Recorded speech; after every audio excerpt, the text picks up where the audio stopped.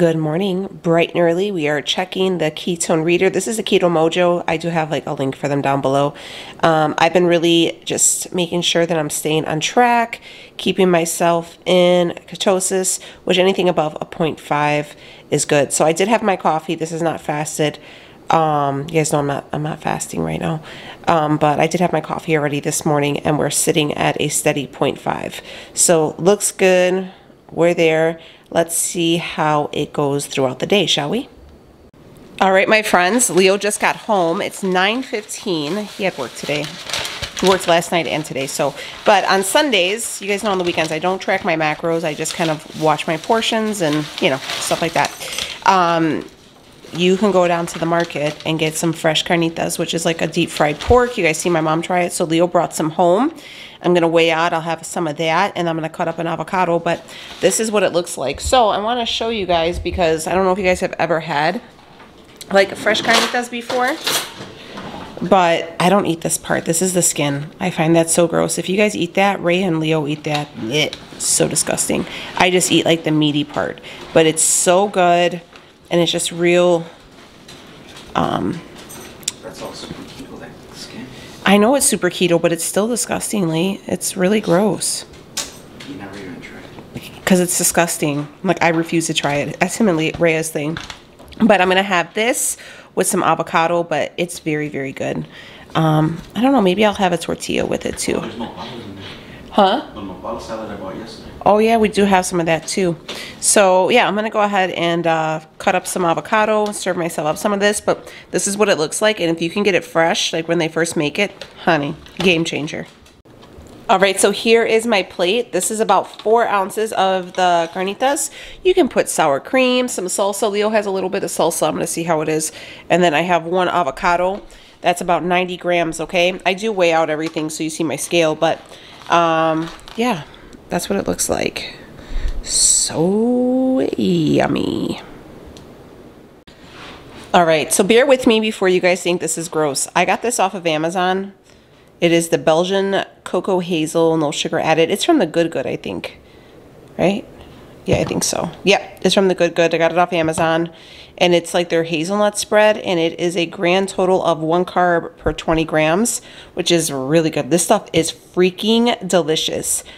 This is better than Nutella. This is amazing. Let me just say how amazing it is. When I got it, and Rhea was home because she tries everything, you know, because she does it with me. And I was like, oh, you're not going to like it. And she's like, Mom, let me try it. I was like, you're not going to like it. And she's like, we were fighting over it. She loved it. Um, she suggested to dip berries in here, which would be a really good idea. I'm just going to have it on one of these Xtreme Wellness high fiber tortillas. So it's going to be a five carb little snack there. So, but it's so good. It's literally, it's disgusting how good it is like this could be a problem. So I'll link it down below if you guys want to get your hands on some, but holy hell, it's so good. Let me open it so I can show you. So good. It's, it's, it's a travesty. So anyways, I'm going to put 20 grams on this tortilla. I have my scale right here and then wrap it up and that's going to be our little snack. And it's pretty filling too. It's so good. Okay, my friends, it's uh, about to start making dinner. So we are going to do, so you're seeing this video on Monday, but I'm recording it on Sunday. And I like to make like good, comfy, like wholesome Sunday dinners. I always grew up having like big Sunday dinners um, with my family, so I try to do them with the kids and Leo as well. the only difference is, is uh, we're going to be short two kids. Becky and Sophie are visiting my sister-in-law with uh, Leo's mom and dad, and Rhea will be home shortly. She's out getting, uh, she's out visiting her grandfather and uh, my dad and stuff. So, anyways, we have a couple cookbooks. So these are the cookbooks I have. I've been telling you guys. This is the Keto Comfort Foods. Obviously, that's Southern Keto, and then the Mexican Keto Cookbook, okay? I've done like one recipe out of here. So I found this recipe that I wanted to make for dinner, and I thought it sounded like really good. And it sounded really easy, to be honest. I like this cookbook because of the reason that the recipes are easy and um, the ingredients. You don't have to have like a buttload of ingredients because with that stuff like it gets super expensive. So I'm trying to find nope. Bourbon chicken? I don't know if that's a thing but this is what we're gonna have ground beef stroganoff, and we're gonna do a cauliflower mash as the base. So we're gonna go ahead and assemble all of our ingredients. He, she's saying what I like to is that per serving, it's about 2.8 carbs, okay? So she's asking for about one and a half pounds of ground beef. I got about two, so it won't be too much of a difference. So I'm gonna go ahead and, um, dang it, I don't have any mushrooms. The hell. Oh, I think I have one left, so we're just gonna use one. But all right, uh, yeah, let's hurry up and get this stuff done, okay? Let me go ahead and assemble everything and we'll start cooking dinner. So I need to know that I'm not the only one. We got two pounds of ground beef going on here, okay? Um, I went to the store this morning specifically for um, something for this recipe, right? I go to the store, I went for the mushrooms, I think it was. Anyways, I go to the grocery store for and an onion. That's what I went for. It was a damn onion, not the mushrooms. So I specifically went this morning, got completely distracted, bought everything other than the damn onion. like ah, I should make lists. I literally looked at the cookbook this morning before I ran to the grocery store. But anyways, so it's not gonna have an onion. I got onion powder and stuff. I'm not too worried. But we're gonna go ahead and brown up this ground beef first. This is going to be, um, from what it says, it only takes about a half an hour altogether, so it's not too bad. So while this is starting to brown up, I'm actually going to go ahead and start cooking up that um, cauliflower rice. She does have her own recipe in here for a cauliflower rice, but I'm just going to do mine the way I always do it. So, um, yeah, so you can do what you want. Um, again, we're just kind of going over it, but I really, really, really enjoy this cookbook. I highly recommend it. It's a really good one. All right, so I haven't jumped on here. You know, we're in the kitchen, we're cooking, you know, doing the things, and I wanted to ask you guys a couple things. So now that the weather is starting to cool off here, I'll start cooking up a lot more stuff in the house just because, you know, I know we're not the only ones, but I'm at this point where I'm so tired of everything on the grill. I mean, we've smoked, barbecued, just about everything that there is to do. So I'm really looking forward to more crock pot recipes, air fryer recipes, like comfort food, like recipes that I can turn on the oven for and like bake some stuff. So if you guys are interested in seeing like maybe um, some great crock pot meals or easy air fryer meals or like comfort food meals or like 20 minute or less dinners, I have a bunch of those because sometimes I forget to start cooking because I get carried away. Also, let's talk about the book I'm reading. So I just started this book and it was suggested, like you know how um, Amazon suggests books. It's a little, it's a little, uh, it's a little spicy here. It's not like, like, I don't know, I just started it, so I don't know if it's like a dirty book or nothing, but it's called Nine Minutes. I don't know who it's by. Uh, it's a nine minute trilogy books. I don't know. So basically it starts off with a guy's execution and I'm like, what's going on here? And goes into where this, I'm, like I said, I just started it right now and I'm like, this is pretty crazy. So the starts off with this guy's execution and goes into the summer in which the girl who's like watching her ex-husband get executed with her now husband um, talks about this the summer that she was abducted in like the 70s, like 75 or something when she was 15. And it just kind of goes into their story. Like she's like retelling her tale. And like I'm blown away right now. Like and Rhea is 15. You know she's gonna be 16 in a couple weeks. And I'm like, you ain't never leaving this damn house. Cause stranger danger is real. And my kids think like I'm kind of crazy because I always, here we are just chatting like a couple friends in the kitchen. Um, I remember when I was a kid, my mom would do this with like her sisters and stuff. She would have like, she would be like this, you know. Yeah. So, anyways, you know, when they would cook, anyways, beyond the point. Um, but like I, my kids think I'm crazy because I warned them about the movie man, about Stranger Danger. And the thing is, is my mom always told me Stranger Danger isn't the creepy guy, isn't the burly biker, isn't, um, you know, the odd guy walking down the street. It's the one who could blend in and to always have your guard up. And that's how I live and lived. And that's how I want my kids to live. And like, you're always, you're making us nervous. Like Rhea, Rhea swears to God that I told her that the Sears by our house is where they took Adam, Adam Walsh's kid. I did not say that. I said it happened at a Sears, but she assumed it was at our Sears. But I had to tell her, like, stranger danger, he'll snatch you if you walk, because my kids, you know, when they were little, they would try to walk away. You know, and you had to tell them, like, let me tell you what happened to Adam Walsh when he walked away from his mom and dad at the store. So, anyways, thought I'd just share that little bit of that book. If you guys are reading any good books, let me know. I was talking about them on Instagram today. So, anyways, we're browning up this meat. I threw in some, I had uh, one portobello mushroom left. It's a pretty decent sized one. So I chopped that up and threw that in here. We're just browning up this meat. This is a, um, like a grass-fed beef. So it doesn't, it's not giving off a lot of grease. If it did get off a lot of grease, I would probably drain it. But this isn't giving off a lot of grease at all, so. Um, but if you don't like, I mean, it's a it's more water than grease, to be honest. Um, but if you guys you know, want to drain it, you would go ahead and drain it. I'm still kind of weirded out by how I should give out like how I'm cooking these. That's why I'm not like just showing everything because I don't want to get like, I don't want to step in a pile of shit, you know what I mean? Like I don't want to get in trouble by anybody. So I'm just kind of cooking as we go. But again, browning up the meat. We got the uh, cauliflower rice cookie in the microwave. That's how I do it. And then I just toss it into the Ninja over there. So tomorrow's Rhea's first day. When you guys see this, be Rhea's first day of her freshman year.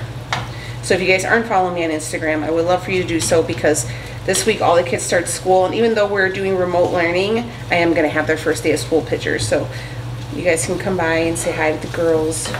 I hope if your kids are starting school or started school, I hope they're having a great year and, you know, everything goes smoothly, okay? But all right, let's cook this dinner. We'll chat some more in a little bit. All right, so in here is that bag of cooked cauliflowered rice, you know, the one I always get from Costco. I have about one ounce of cream cheese, a tablespoon of Carrie's butter. I have some salt and some pink Himalayan salt, some fresh cracked pepper, and I have a splash of heavy whipping cream because my mom always puts milk in her mashed potatoes. And I just gotta put the lid on here if I can figure out how to do this. One day I'll be able to do it all on the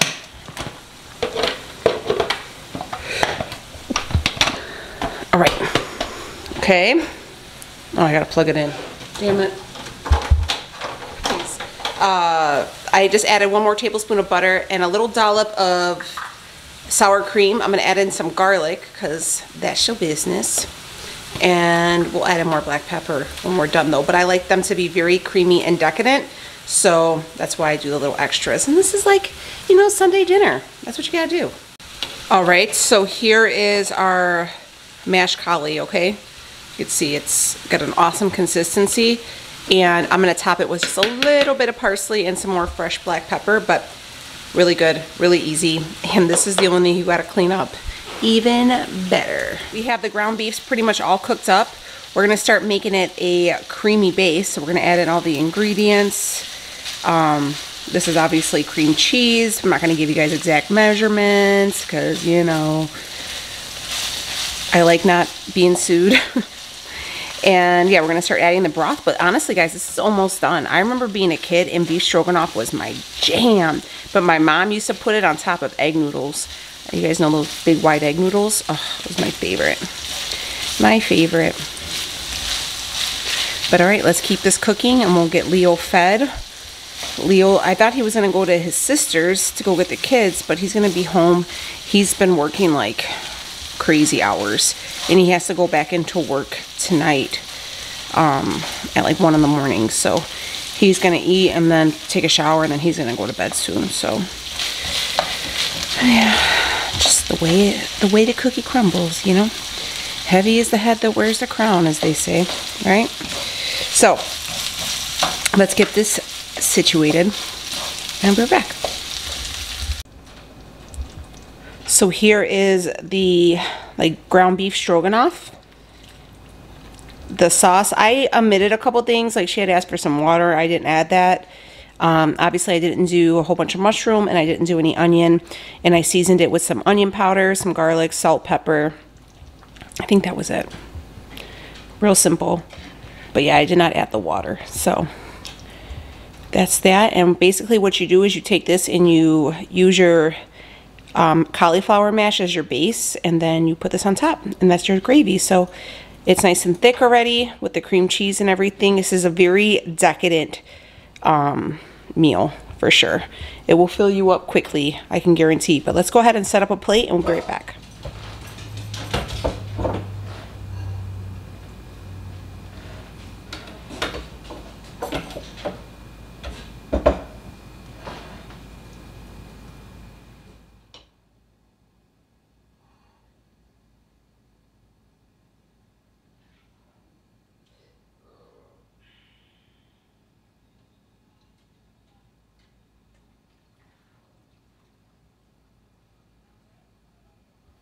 All right, my friends, here is that beef, ground beef stroganoff. This is Leo's plate, that's why it's so big. But it looks really, really good. Really, really decadent. So we're gonna have Leo try it out. But it was really easy. So this is like home cooked meal in 30 minutes and you cannot beat that. So let's go ahead. We're gonna set him up, put his plate down. I always feed him first. I feed him and then I feed my kids that's just kind of the way it goes. Mama always eats last, but that's the name of the game. So let's get him on here and let's see what he thinks. It's super decadent, the gravy. It's pretty good. Yeah? Mm -hmm. Like home cooked meal, right? For 30 minutes? Mm-hmm. Pretty good, huh? Does it taste like a beef stroganoff? I've never had beef stroganoff. No, but it's like a stick to your ribs kind of meal, right? It's good. It kind of tastes, you know, real gravyish and yeah, kind of heavy. Yeah. Okay. Well, there you like go. biscuits and gravy almost. Yeah, like a country gravy. Yeah, yeah. yeah there yeah. you go. That's what I meant. All right. Well, there you go. He approves. All right, and here's my meal. I do mine on a paper plate because I'm the one who washes the dishes, but I just have like a little scoop of the um, potatoes or the cauliflower mash and then one ladle of the ground beef. My dad's gonna come right now, so I'll probably feed him some of this too, but yeah, Leo loves it. He's like already halfway done. He said it's like a good like stick to your ribs meal, you know?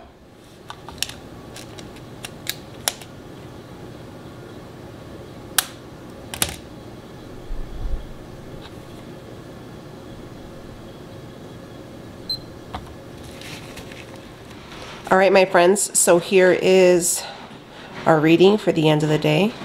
Not bad. We were able to, you guys seen what I ate and we were able to not only maintain ketosis, but we were able to go ahead and get our number a little bit higher. That's what I'm talking about. All right, guys, so I'm gonna go ahead and wrap up today's video. Dinner was a complete success. I definitely recommend this particular recipe. It was really good. I think it'll be really great if you wanted to make even some of those drop biscuits that she has in her cookbook. Perfection. This would be perfect for a cold winter or fall night definitely will be remaking this again. Um, that Nutella, my dad just actually stopped by and I made him like a little wrap with it and he's like, that's good. He likes it. He wants some. So definitely recommend, um, I, like I said, I get it from uh, Amazon. So it's the Good Good hazelnut spread. And then I also like their strawberry jam.